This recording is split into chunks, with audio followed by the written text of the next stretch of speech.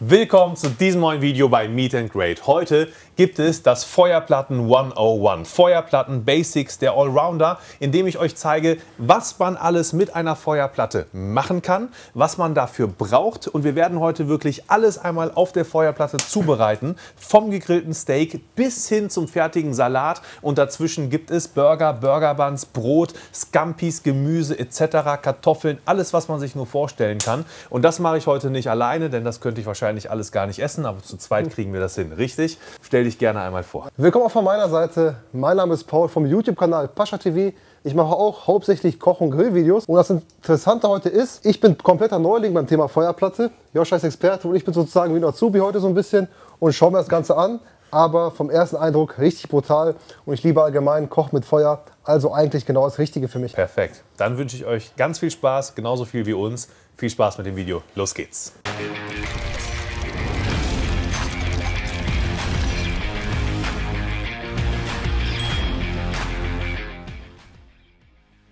Wie ihr das von meinen Videos gewohnt seid, findet ihr auch hier wieder unten in der Zeitleiste in Timestamps die verschiedenen Kapitel unterteilt, um immer dahin zu springen, was euch gerade besonders interessiert. Und wir fangen strukturiert an mit so ein bisschen Zubehör. Was brauche ich für so eine Feuerplatte, um all das, was wir nachher machen, auch zu machen?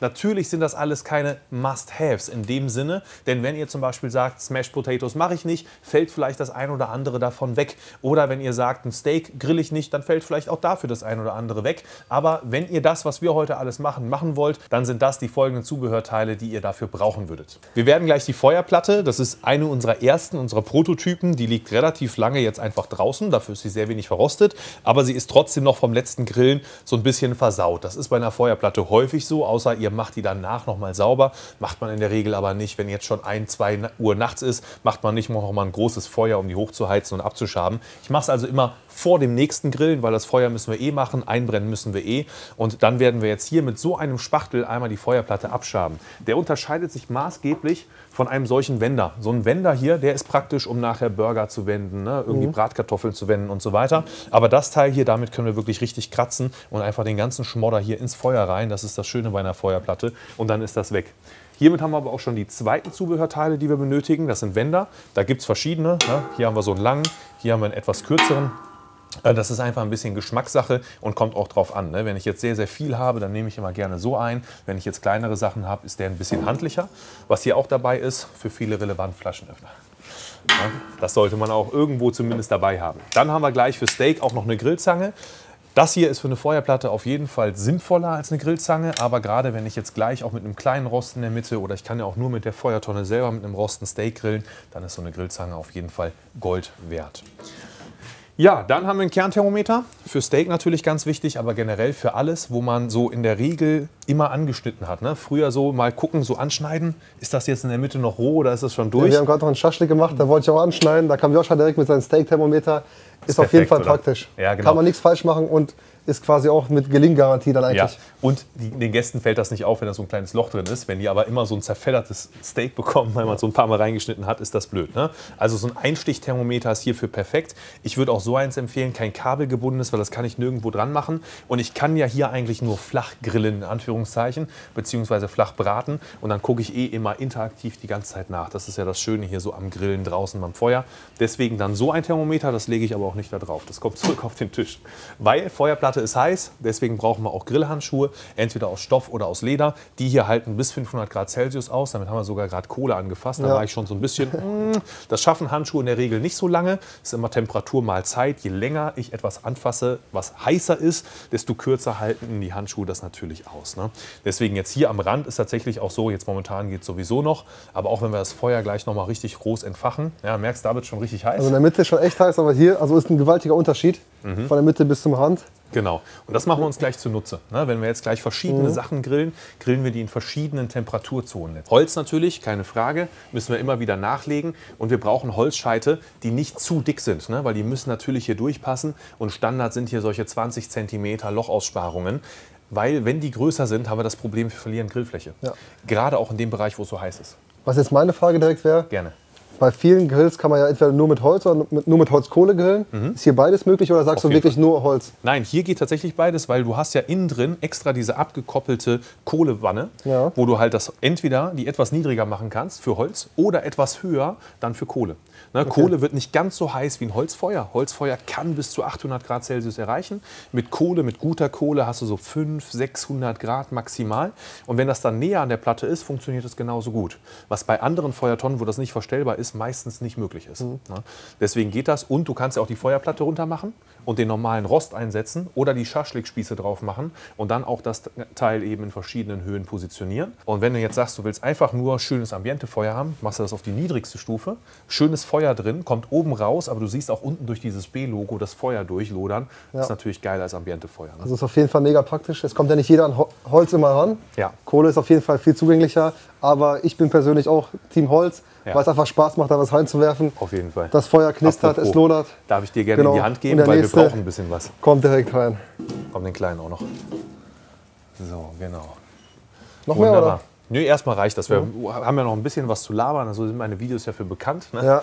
Aber ich versuche immer so viel Mehrwert wie möglich. Aber wie ist das beim, beim Einbrennen? Einfach richtig aufheizen muss man irgendwie langsam zu stark aufheizen oder ist scheißegal, sag ich Bei mal. dem Material vollkommen egal. ja, einfach reinhauen, darf ruhig Einfach. heiß werden und Richtig, volle Pulle hochheizen. Du wirst beim ersten Mal sehen, ich habe ja eben dir gerade schon gesagt, ja, wir müssen die Platte einmal umdrehen, weil die wird sich in diese Ja. Richtung wölben. Das weißt du dann mit der Zeit, aber beim ersten Mal kann es sein, dass die sich nach oben wölbt. Dann musst du die einmal umdrehen. Ne? Mhm. Dass das Wenn Fett sich, da reinläuft quasi. Mhm. Korrekt. Wenn die sich direkt nach unten wölbt, perfekt. Weil du willst ja nachher nicht das Fett auf den Schuhen haben, sondern willst es da im Feuer drin haben. Und das ist auch das Geile, weil du kannst wirklich alles einfach in das Feuer reinschieben. Es verbrennt, ist weg und stört dich halt nicht mehr. Ja. Also total entspanntes Grillen, Schrägstrich Braten. Ja, was mir jetzt auch direkt einfällt, als erster Vorteil, wenn man jetzt fettiges Fleisch hat oder auch sowas wie fettiges Steak, Wagyu oder sonstiges, dann hat man ja kein Fettbrand, Genau. so, also kein wirklichen Fettbrand, weil das Fett läuft ja quasi rein. Korrekt. Aber das Fleisch wird dadurch nicht geschädigt oder sonstiges. Ist richtig. Du hast nicht diesen rußigen Geschmack Mhm. nachher durch zu viel Flammen. Äh, wenn du sehr fettiges Fleisch wie Wagyu hast, da sprichst du schon genau den Idealfall an. Du kannst aber natürlich zum Beispiel flambieren und es kann natürlich auch passieren, wenn du sehr viel Fett überall hast, dass die Flammen hier hochkommen auf die Platte. Ne? Das kriegst du aber durch die Verteilung sehr gut unter Kontrolle und mit dem Flambieren kannst du es auch zunutze machen. Okay, ja, das ist dann quasi Übungssache und Genau. vom Grillmeister Das können wir auch abhängig. gleich mal probieren. Vielleicht Ja. haben wir was zum Flambieren da.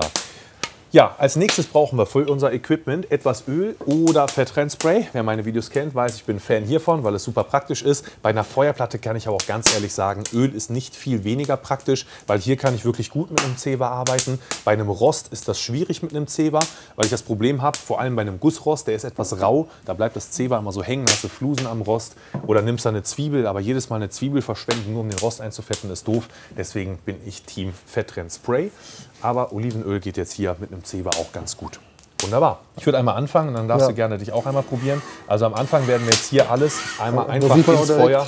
Ja, genau. Sieht man direkt, was da Die runterkommt. war ein bisschen ne? länger nicht in Benutzung. Korrekt.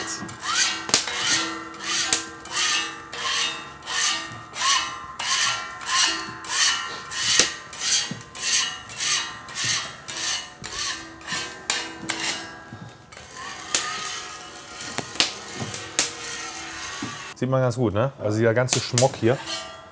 Einfach weg damit. Und je heißer die Feuerplatte ist, desto besser geht das runter.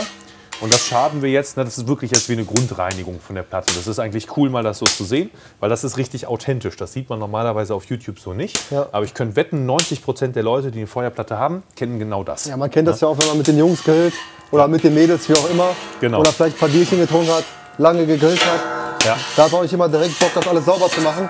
Wie du gerade schon sagtest, vielleicht ist es einmal 3, 4 Uhr morgens und dann ist das quasi öfters auch der Zustand. Ne? Genau, richtig. Du siehst ja die Verfärbung jetzt hier von der Platte. Ja. Das ist ein sogenannter Feinkornbaustahl. Der ist ideal für Feuerplatten. Die meisten bestehen daraus. Und der verfärbt sich mit der Zeit. Und das ist wie bei einem Rost, egal ob jetzt ein Gussrost, Edelstahlrost, ne, im Grillbereich kriegt alles mit der Zeit so eine Patina. Manche sagen, das gibt Geschmack. Objektiv muss man sagen, es gibt keinen extra Geschmack. Aber es bringt auf jeden Fall mit der Zeit immer mehr so eine Antihaftbeschichtung mit sich. Ne? Also ich bin tatsächlich auch einer. Ja. Ich finde zum Beispiel jedes Grillgerät, also ich habe selber einen Kasan, wer das kennt, Ja. auch einen Tandoor. Und Essen aus dem Kasan schmeckt speziell, Essen aus dem Tandoor schmeckt speziell und vielleicht schmeckt es von der Feuerplatte auch irgendwie speziell. ja, ich bin gespannt, was du sagst. Mit dem Öl ziehen wir jetzt hier so eine Bahn außenrum lang. Ja. Direkt nächste Frage, ich habe heute viele Fragen. Gerne. Ist egal welches Öl? Oder Ja. hast du da Vorlieben, Favoriten, sonstiges? Also beim Frittieren und so weiter ist tatsächlich der Rauchpunkt relevant. Ja. Jetzt zum Also wie beim Einbrennen. Kasan ähnlich? Ja, genau. Zum Einbrennen ist es aber eigentlich egal. Ja. Ne? Weil beim Einbrennen, das Öl bleibt nachher gar kein Öl, sondern es bildet sich letztendlich eine Polymerstruktur, die sich in diese kleinen Kratzer hier reinsetzt. Und das ist physikalisch gesehen kein Öl mehr. Mhm. Und deswegen ist es egal, ob das jetzt noch Pflanzenbestandteile beinhaltet hat oder nicht, die sind eh weg. Okay. Na, so, und wir gehen jetzt einfach mit dem Zeber hier hin. Also Kurzfassung, Hauptsache Öl. Korrekt. Ja, außen wird ja auch langsam warm. Ja. Aber außen kann man auch für den Rest der Zeit immer noch mal kurz anfassen. Ja. Irgendwann nicht mehr lange, Ist aber quasi auch dann kurz. wahrscheinlich gut zum Warmhalten dann. Auf jeden Fall, perfekt. Innen grillen, außen warm halten. Verschiedene Gasstufen kann man sich da fertig machen. Richtig. Und jetzt siehst du auch mit dem Öl, wie das noch sauberer wird. Ne? Mhm. Wir wischen damit jetzt noch mal einiges auch an Dreck jetzt hier weg. Und das ist so die finale Reinigung. Wenn man den gut sauber macht, dann reicht das eigentlich in der Regel auch immer wieder aus. Ne? Ja, ist auch extrem heiß, das heißt, die Hitze ist ja auch irgendwo antibakteriell. Korrekt. Ja, machen wir ein Steak Sandwich. Also wir haben hier noch ein bisschen Roast Beef. Das ist halbiert, weil das jetzt übergeblieben ist von einem Grillseminar, was wir heute hatten. Da kriegt jeder quasi ein halbes Roast Beef, weil das wurde noch getoppt. Wir hatten so Surf and Turf. Ja. Das heißt, da kamen noch Meeresfrüchte drauf, ein bisschen Bacon und so weiter. Also da wurde ein komplettes Gericht draus gemacht. Deswegen ein halbes Roast Beef pro Person. Davon haben wir jetzt noch die Hälfte über. Ich würde sagen, da machen wir kleine Steaks draus. Die grillen wir einmal auf der Feuerplatte. Vielleicht machen wir auch den kleinen Rost rein, dass man die wirklich einmal grillen kann, Ja. weil ich höre schon die Kommentare. Gut den Vergleich sehen auch, ne? Genau, man, ich höre schon die Kommentare, weil die Leute sagen, Feuerplatte ist kein Grillen, ist nicht über offenem Feuer, weil du legst es ja hier drauf. Ja, das ist ja eine Platte, also es ist eher wie Braten, Die Plansche auch so ein bisschen, ne? trotzdem mit offenem Feuer. Also das wirst du ja auch hören, weil Kasan ist ja auch im offenen Feuer, Ja, aber es kommt ja das Feuer nicht Feuer, ans ja. Essen ran. Ne? Genau, das, da hast du immer so diese Leute, die dann da immer so ein bisschen ja, päpstlicher sind als der Papst. Deswegen machen wir auch ein Steak auf dem Rost wirklich, dass man zeigen kann, man kann hiermit auch wirklich grillen. Ein paar auf der Platte und dann machen wir gleich das Brot. Das werden wir im äußeren Bereich schön anrösten. Und dann haben wir hier noch ein bisschen was vom Grillseminar an Soßen und so weiter, die übergeblieben sind. Machen geiles Steak. Und Leute, ich sag euch ganz ehrlich und ganz fair, ob es besser schmeckt auf der Platte, auf dem Feuer oder ob es überhaupt gar keinen Unterschied macht. Fände ich geil. Machen wir. Ja, so Leute, ich habe die Ehre. Das erste Steak ist hier in der Zange. Und wir nutzen hier diesen Fettdeckel, um die ganze Feuerplatte bzw. einen großen Teil der Feuerplatte damit einzureiben, damit es auch nicht festbrennt. Richtig? Korrekt, genau. Wir haben sie ja schon eingeölt, aber diese Ölschicht, die wir jetzt drauf haben, ist ja jetzt wieder eingebrannt. Und um jetzt noch mal ein bisschen was einzufetten, können wir jetzt das Eigenfett vom Fleisch nehmen. Das heißt, es verfälscht nicht das Aroma, gibt noch mal ein bisschen Geschmack und der Fettdeckel wird natürlich auch direkt schon mal mit angebraten. Also ich dachte mir einfach, Steak muss möglichst heiß gegrillt werden, Korrekt. damit es nicht zäh wird oder sonstiges. Deswegen schön ab in die Mitte. Eigentlich ist das ja ein relativ geradliniger Temperaturverlauf. Ne? Richtig heiß und es wird immer weniger, weniger, weniger, weniger, weniger. Und man kann es so in drei Temperaturzonen einteilen. Physikalisch gesehen gibt es das natürlich nicht. Ne? So, legen wir mal den Fettdeckel so hier in Richtung, in Richtung Flammen. Und man sieht, die lassen auch richtig schön Saft Ja. und werden halt in diesem Saft gebraten auch, was eigentlich In geil ist, wenn man selber, drauf ne? steht. Ne? Genau, und wenn es richtig heiß ist, dann ist halt auch bei gutem Fleisch es so, dass nicht zu viel Flüssigkeit austritt, ne, Ja. sondern eher Fett. Genau. Ob, So, im, der- Im Optimalfall. Korrekt. Wenn der Fettdeckel jetzt so ein bisschen angeschmolzen ist, drehe ich den um. Das ist jetzt so ein bisschen perfektionistisch. Ne?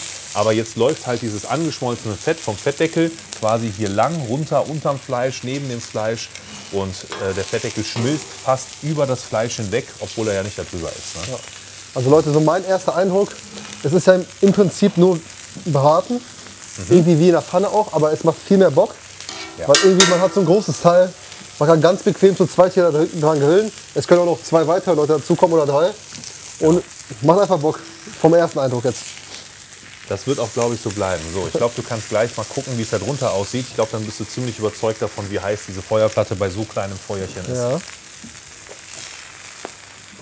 Okay.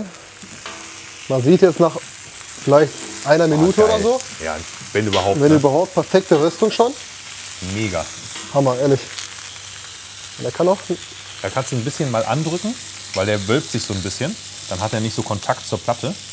Und je besser der Kontakt zur Platte ist, ja genau, das ist das Zischen. Dann merkt man das, ne? Genau, das ist immer wichtig. Sobald man mit einer Plansche oder einer Feuerplatte arbeitet, immer draufdrücken. Die Leute haben manchmal Angst, dass man so die Flüssigkeit aus dem Fleisch rausdrückt, aber das ist Schwachsinn.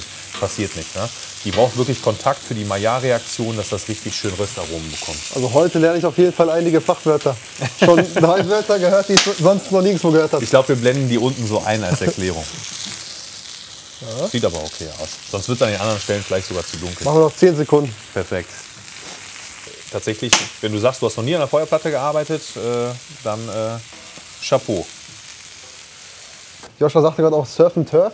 Ja, Ist ja Fleisch mit Meeresfrüchten? korrekt, genau. Irgendwas Bestimmtes oder ist das so ein allgemeiner Begriff? Das ist ein allgemeiner Begriff für diese Kombination Fleisch daraus. plus Ja, du Fisch. kannst halt super geile, ja, nicht nur Fisch, sondern halt auch Scampis etc. Seafood. Genau, ne? Ähm, oder ein Oktopus und so weiter. Du Ja. kannst so geile Kombinationen daraus machen, wenn man das mag. Also ha habe ich oft gehört, aber hört es doch irgendwo ein bisschen pervers an vielleicht? ja, machen wir heute tatsächlich, weil das hier ist so eine Art Garnelenkräuterbutter. Ja, ah, okay.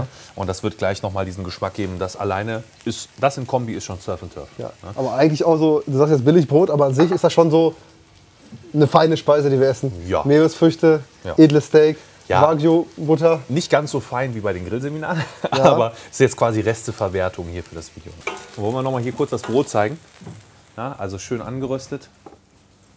Und jetzt ist das auch richtig schön wie aufgebacken, wenn man hier drauf drückt. Ja. Es war eben so ein bisschen trocken, weil das sind auch Reste. Die liegen auch schon den ganzen Tag heute draußen. Perfekt. So, und auch vom Bratenrand, Hammer, oder? Also hier würde ich sagen, fast kein Bratenrand. Hier vielleicht minimal zu erkennen. Ja, aber meckern auf ganz hohem Niveau. Ja, das kann man nicht gelten lassen. Ne? Und wenn wir überlegen, wir haben es ja gar nicht mal ruhen lassen. Ja, also Ist jetzt direkt von der Feuerplatte runter. Ich verbrenne mir sogar fast die Finger. ist eigentlich auch sehr wenig Safthaus, wenn man Ja. überlegt so. Richtig. Ist einfach ein sehr gutes Fleisch, sehr gut zubereitet. Und dieses ja, nochmal ruhen lassen, da muss ich noch mal ein extra Video drüber machen. Ich finde es krass, dass es trotzdem schon irgendwie salzig ist. Ja, ne? So ein bisschen, also nicht wirklich salzig, aber einfach so geschmacksintensiv. Ist trotzdem schon dieses Umami-Flavor, ne? Mhm. also dieses vollmundige bei diesem Steak. Das finde ich auch sehr, sehr geil. Bei hoher Fleischqualität hast du das sehr oft. Und ganz ehrlich, ich finde den Fettdeckel sogar mit am besten. Ja, hat auch, transportiert ja auch den Geschmack extrem gut. Ne? Man kann die auch, wenn man die wendet, einmal so in diese Richtung mal von der Flamme weg oder hindrehen, ne? dass man die schön gleichmäßig hat. Das ist immer so der innere Monk in mir, der das machen will. Ob das nachher wirklich einen Vorteil bringt, Kenn ich. da sind wir mal ganz ehrlich, so weiß ich auch nicht. So, wir dürfen nicht zu viel essen, weil wir wollen das Steak ja, Ja. noch belegen. Was ich noch zum Fleisch sagen kann, vielleicht interessiert es den einen oder anderen, obwohl da kein Saft rauskommt oder relativ wenig, ist es trotzdem saftig. Also der Saft ist ja da, nur der ist halt drin, wo er auch Ja. sein soll und nicht in allen Richtungen verteilt. Obwohl wir eigentlich alles falsch machen. Ne? Wir haben auf das Steak draufgedrückt, wir haben es direkt nach dem Grillen rund, äh, angeschnitten, ohne es ruhen zu lassen und so weiter. Ne? Aber ganz ehrlich, so Leute, die viel Ahnung haben, die ich mir auch mega, angucke auf YouTube oder so, Schau mal die sagen auch, wenn du ein gutes Fleisch hast, kannst du es eigentlich gar nicht verkacken. Das ist richtig. Ne, dieses Draufdrücken ist auch eigentlich immer eine Schande, aber fürs Video muss man es machen. Dann nehmen wir ein bisschen was hier von unserer Butter. Also ich fühle mich danach, das einfach so ein bisschen damit zu verteilen, damit das auch so ins Brot eingeht. Weißt du was, das will ich dir nicht nehmen. Was? Egal. Aber dann machen wir auf die Oberseite auf, oder? Ja. Dann würde ich sagen, wir brauchen gar kein zusätzliches Salz für Steak, oder? Wir nehmen Nee. das, legen das Steak jetzt hier schön drauf. Und das Ganze ist einfach wie so ein Spielzeug für Erwachsene. ja, ist so, ne?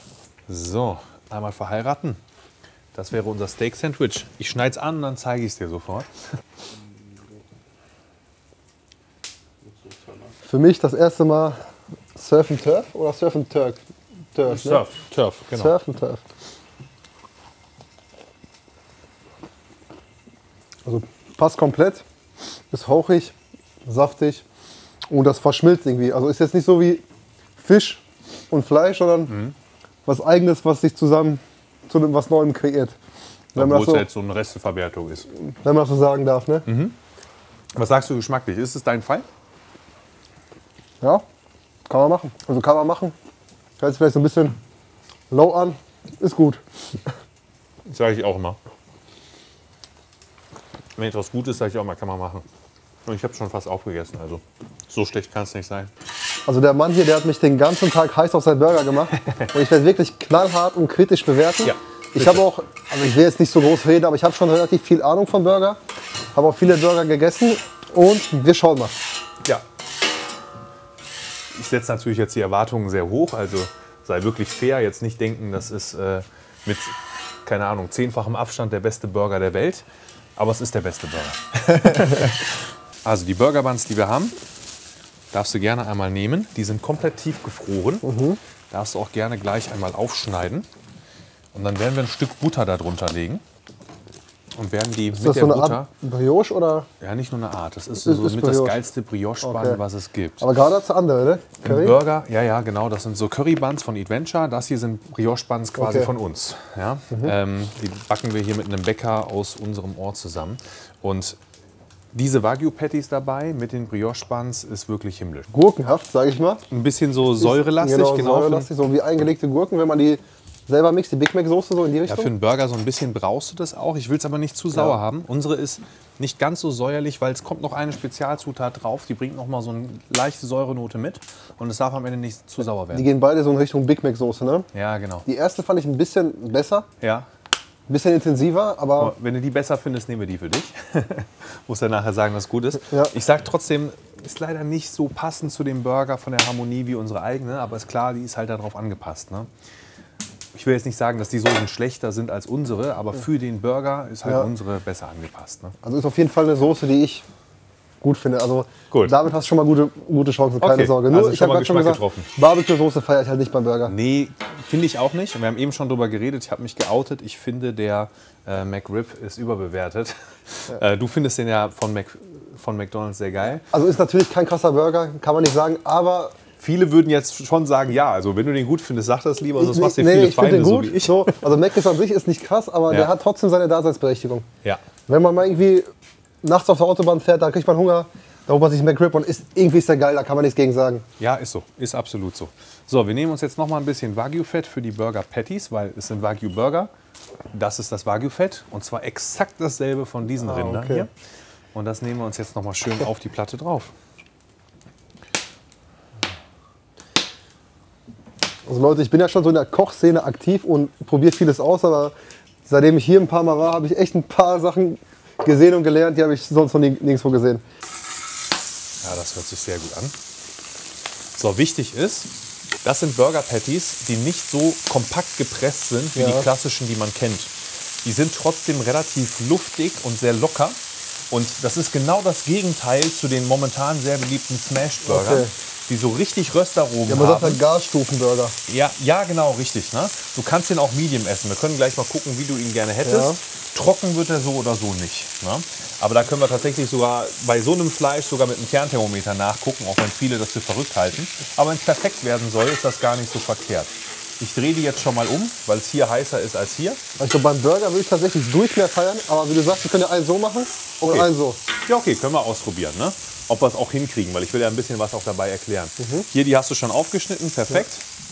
Dann können wir die jetzt gleich einmal mit Butter auf die Platte legen. Bisschen schief geschnitten hast du sie hier tatsächlich, aber Ja, der erste, der zweite war dann besser. sehr gut. Ganz normale Butter, ne? nix. Das ist ganz normale Kein Butter jetzt. Das ist jetzt kein Wagyu, kein spezielles irgendwas. Nein, ganz normale Butter. Würde ich zu Hause auch empfehlen. Also man kann diesen Burger eins zu eins zu Hause auch so nachmachen, wie wir ihn hier machen. Ne? Man braucht nur ein bisschen Liebe fürs Detail.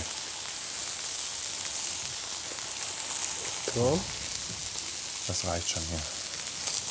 Quasi so einarbeiten mit dem Brötchen oder? Ja, genau. Wir nehmen jetzt hier quasi die Butter, die wir jetzt hier Ja, haben. ich guck mir erst mal an, wie du das machst.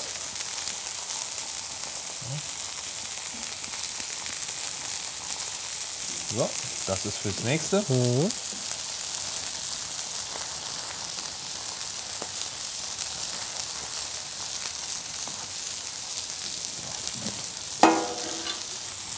Beim Burger können wir schon mal hier wenden.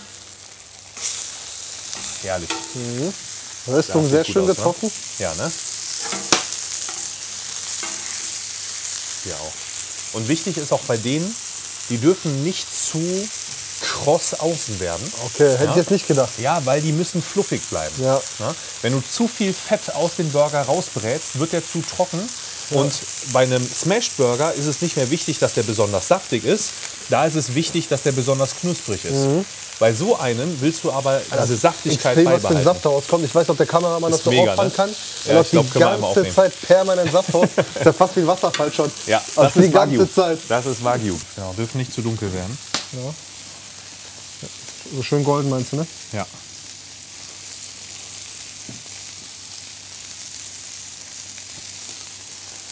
Ja, ja, genau. Das ist äh, vom, von der Patina quasi. So, die zusammen. Hier gilt Gleiches, sogar eigentlich noch mehr wie jetzt bei dem äh, Brot eben. Ja. Wir wollen, dass jetzt die Butter richtig schön durchzieht und die Burgerbuns waren ja auch noch gefroren. Die Flüssigkeit, das zieht alles jetzt durch, wird aufgebacken. Bei einem Gasgrill mit Deckel reicht es vollkommen, so den Deckel zu schließen. Ne? Jetzt hier müssen wir uns so einer Glocke hier bedienen. So, einmal wenden. Na, das meine ich, wenn das Fett hochkommt mit den Flammen, ne, da muss man so ein bisschen einfach sich mit arrangieren. Auf wie viel Grad gehst du da?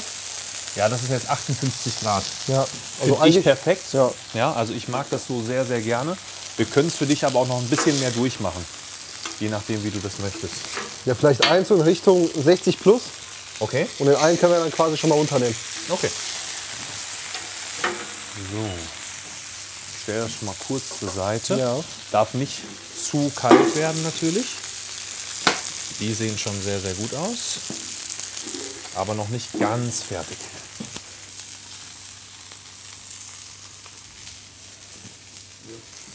Also wir nehmen die Soße, die du lieber gemocht hast. Ja. Man kann so einen Burger unterschiedlich aufbauen. Wichtig ist, finde ich immer, auf der Unterseite so eine Mayo-basierende Soße drauf zu packen und auch nicht zu viel. Also das ist wirklich so das höchste der Gefühle. Diese Mayo transportiert nochmal ordentlich Aromen. Ja, ist ja auch eine geschmacksintensive Ja. Soße. Wie, wie fettig magst du es? Weil wenn du jetzt siehst, was hier aus dem Burger noch rauskommt, das ist alles Fett. Willst du das da drauf haben oder lieber abgießen? Mach, wie du es machen würdest. Also schon mit Fett. Ruf damit. Ja, Ja. das ist Geschmack. Das ist halt wirklich richtig, richtig geil. Und da kann man auch nicht sagen, dass dieses Burger Patty in irgendeiner Form trocken wäre. Ne? So, jetzt kommen hier noch mal ein Mhm. paar Zwiebeln oben drauf. Und das mache ich wirklich hier sehr, sehr dediziert. Das liebe ich auch beim Burger. Eingelegte Zwiebeln und eingelegte Gurken. Ist mega. Ja, entweder das eine oder das andere. Man darf es auch nicht zu sauer Nee, nee, haben. genau. Eins ne? von beiden.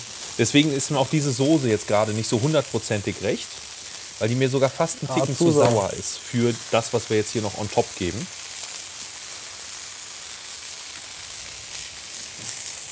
So.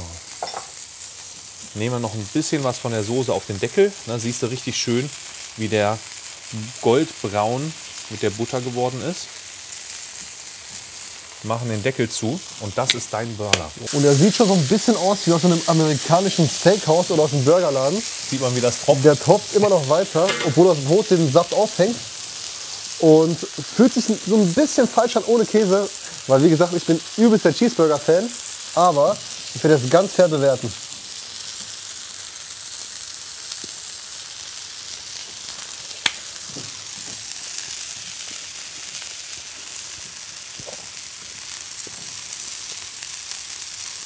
Übrigens, kein Salz auf dem Fleisch, Auch kein was. Gewürz, Also das nichts. Fleisch hat schon mal keinen Widerstand, was ich geil finde. Man kann einfach durchbeißen. Das Brot ist sehr weich, das Fleisch auch. Wie eine Wolke. Säure. Fleisch ist trotzdem intensiv. Ich muss nochmal rein. Und Leute, ganz ehrlich, ich will mich nicht einschleimen oder so, aber der Käse fehlt mir nicht. Weil Käse hat halt extrem viel Fett und deswegen schmeckt es ja immer so geil. Aber hier ist vom Fleisch aus schon so viel Fett drin. Wie du schon gesagt hast, Fehlt fehlt, nicht. Ohne Scheiß. Stell dir vor, da wäre jetzt Käse drauf. Ja. Wird's passen? Überladen wahrscheinlich. Ja, ne? Ja. Also viel mehr kann man nicht aus dem Burger rausholen. Ich weiß nicht, wie ist eine Punktebewertung? Wenn du das möchtest, gerne. Sagen wir so 8,5, 9 vielleicht. Irgendwo auf der Welt gibt es vielleicht einen besseren, klar. Aber ist ein Top-Teil, so spielt oben mit. Haben wir, ne? Also wir haben schon den ganzen Tag, die ganze Zeit gegessen. Schaschlik, Kasan, gerade das Sandwich. Da vorne so ein paar Kleinigkeiten. Aber ich kann den gerade trotzdem übelst gut inhalieren. Und ganz ehrlich, mich stört die Soße, weil unsere Soße, der Burger ist noch mal besser. Ist halt so ein gutes Brioche. Weich, habe ich schon gesagt, wolkenartig. Ja. Aber kann ich jetzt nichts Besonderes zu sagen. Einfach ein gutes Standard-Brioche. Standard Brioche, das Ah, ich Standard. nicht gerne. Ja, also ein guter Standard, sage ich mal. Okay, Hört sich besser an, ne? bin ich mit einverstanden. Du bist ja ehrlich und fair. Und Leute, übrigens, wir haben Viertel nach zwei der Nacht. Wir haben schon drei Videos für euch produziert. Und macht mal einen Daumen nach oben für die ganze Arbeit. Einfach drauflegen und platt drücken, oder? Einfach drauflegen, platt drücken. Ich würde dir empfehlen, entweder auch für zu Hause, man nimmt ein Backpapier und macht das damit, oder jetzt noch mal hier ein Einölen? bisschen einölen, genau, und dann platt drücken, sonst bleibt alles hoffnungslos kleben. So, ich gebe dir, willst du, was willst du haben? Wagyu-Fett, Öl oder Fetttrennspray? Ich glaube, dafür ist das Fett-Trend-Spray ganz gut, oder? Auf jeden Fall. Dafür ist es da, zum Trennen, damit nichts kleben bleibt. So, gib mir das einmal kurz, weil dann würde ich einmal hier und dann werde ich jetzt ein paar Scampis machen. Das hört sich gut an. Man kann diese verschiedenen Temperaturzonen, so wie wir es eben gemacht haben beim Burger, Fleisch direkt an die Flamme, Brötchen ein bisschen weiter weg, immer so nutzen, wie es gerade ist. Jetzt gerade haben wir es wieder hochgeheizt. Vorher war es etwas runtergekühlt, weil wir eine kurze Pause gemacht haben. Jetzt ist die Platte nicht wieder so ganz heiß. Das heißt, ich mache die jetzt hier auch direkt am Feuer.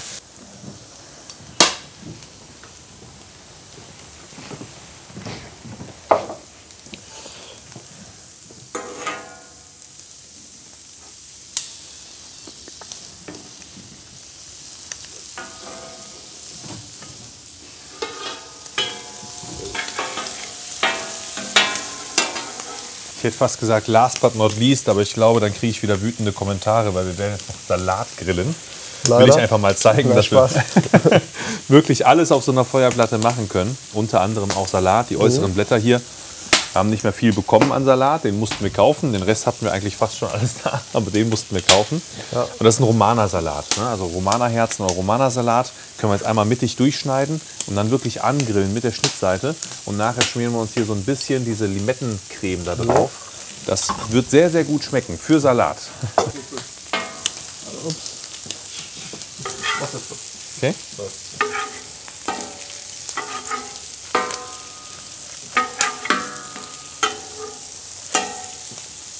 Ich würde vielleicht sogar so ein bisschen Wagyu-Fett bei den Kartoffeln noch drüber machen.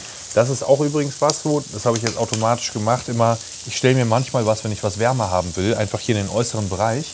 Wagyu-Fett zum Beispiel fängt sofort an zu schmelzen. Da sieht man hier auch direkt. Genau, ne? wenn wir jetzt zum Beispiel sowas mit so einer Butter oder sowas wie eben mit dem Brot hatten oder mit den Burger Buns, einfach vorher hier hinstellen, dann wird es sofort warm. Ja, aber wie du sagst, eigentlich perfektes Spielzeug, um zu experimentieren. Ja.